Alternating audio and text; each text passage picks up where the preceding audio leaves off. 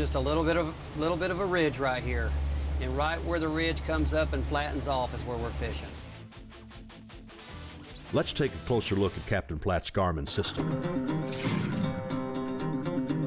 Fisherman's Handbook presents Ramped Up, the gear and tools that gets your Ranger boat ramped up and ready for launch on the water. Well, for me today, uh, at least as far as, as Garmin goes, um, what I really got to see is the Garmin Marine Network in action. You know, every portion of it. When we left here at 5 in the morning, it was pitch black.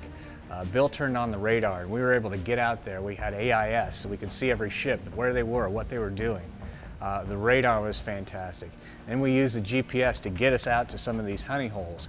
Once we got to those honey holes, we used this GSD-26 digital sonar and the results were amazing. Um, you really have to see it for yourself. Uh, what, what was really neat is all those different components of the Garmin Marine Network were working together, and I'm convinced it made us successful today. The new Garmin GSD 26 digital sonar features spread spectrum chirp technology, the most advanced sonar technology available today.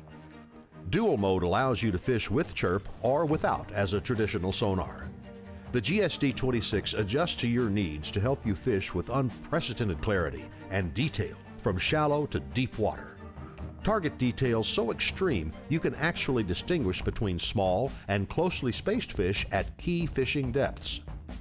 With the GSD26, you can sweep across many frequencies from 25 kHz to 210 kHz or adjust to specific frequencies to focus on certain fish at certain depths.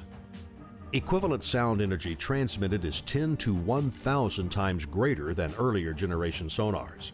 More energy put on the target delivers incredibly precise and detailed sonar imagery with five times the resolution, even at low frequencies.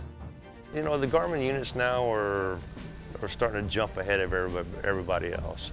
From the radars, the chart plotters, the uh, user-friendly on the chart plotters. Garmin's always had a user-friendly chart plotter or handheld or anything, and it kind of stuck with that. And everybody likes a user-friendly.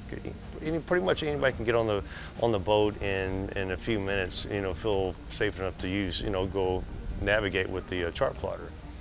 Uh, the sounder has come. It's, it's it's come so far. It's just it's hard to describe how far it's came.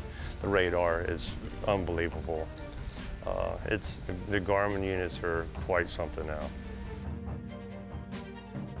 For more information on the GSD 26 or any of the line of Garmin products, visit Garmin.com. If you missed this episode or just want to see it again, visit CareCoTV.com.